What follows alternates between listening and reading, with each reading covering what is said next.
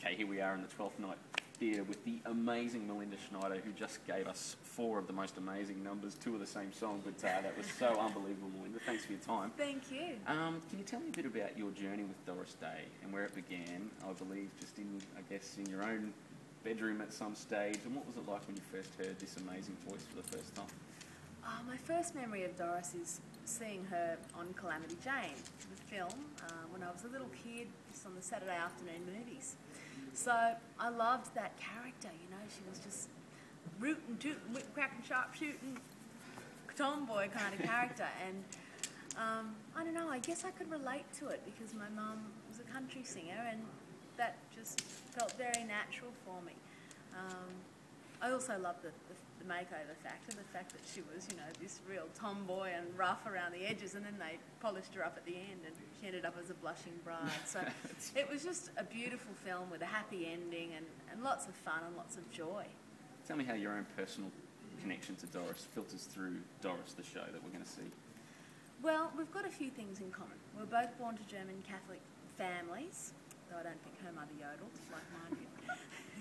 Uh, we both love our dogs, and we both made similar mistakes with men. So there's a few parallels there with our lives, um, and that does filter throughout the show because Doris had four terrible marriages. I only had one marriage that didn't work. Thank goodness, I won't be repeating that to, to Doris's extent. But, um, you know, I can really relate to, to some of the things that, that she did with men. Uh, Some of the mistakes she made. Yeah. Speaking of dogs, you brought your own here today, and yeah. um, you know uh, one thing I didn't know, uh, Doris is an animal activist. Um, you're a lover of dogs, lover I of animals am. yourself. Who do we bring here today? Girls? This is Daisy. Hello, Rosie. Daisy. Hello, Rosie. they're so good. they, are in the show.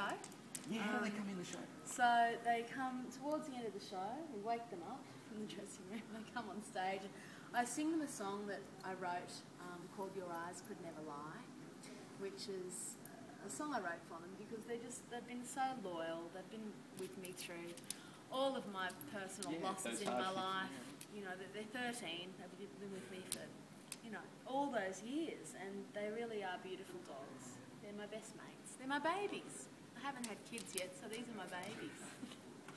Melinda Schneider, thank you so much for some insight and for those songs, and best of luck for the next three weeks in Brisbane. Thank you. Thanks thank for you. coming. Cheers. Thanks, Thanks a lot.